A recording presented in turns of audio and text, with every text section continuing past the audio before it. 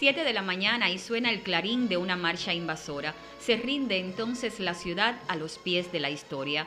Inicia así una singular ceremonia para enaltecer a grandes próceres de la patria que eternizaron himno y bandera de libertad.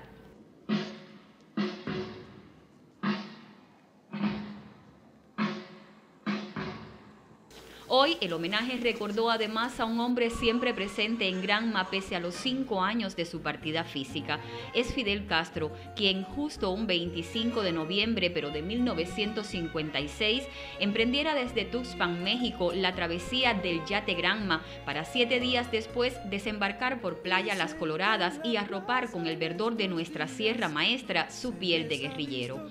Se recordó no solo al comandante y estratega militar, sino también al hombre de pueblo que el 2 de enero del 59 se dirigía a los bayameses en caravana de la libertad, visualizando el futuro soberano e independiente de nuestra Cuba.